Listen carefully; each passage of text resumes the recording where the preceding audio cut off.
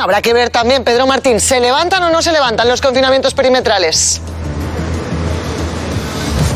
Pues de momento se mantienen, se están estudiando posibilidades, pero para desviar y aclarar ese lío que comentabais, eh, ha señalado Ana Barceló, la consejera de Sanidad aquí en la Comunidad Valenciana, reuniones sociales limitadas a seis personas continuarían en las fechas navideñas. Eso sí, se lucharía por ampliar las reuniones familiares, que en este caso el límite estaría establecido en 10 personas. Eso sí, en fechas señaladas como el Día de Reyes, Nochebuena o Nochevieja. Las mismas fechas para las que se pediría una modificación del toque de queda. Aquí en la Comunidad Valenciana, vigente entre las 12 de la noche hasta las 6 de la mañana. La modificación es que ese toque de queda empezase a la una y media de la madrugada. Es decir, ganaríamos una hora y media de vida nocturna.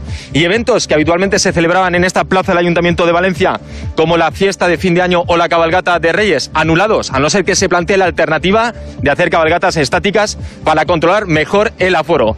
Todo ello para garantizar una Navidad más segura, con el objetivo, eso sí, de mantener esa esencia familiar. Gracias, Pedro.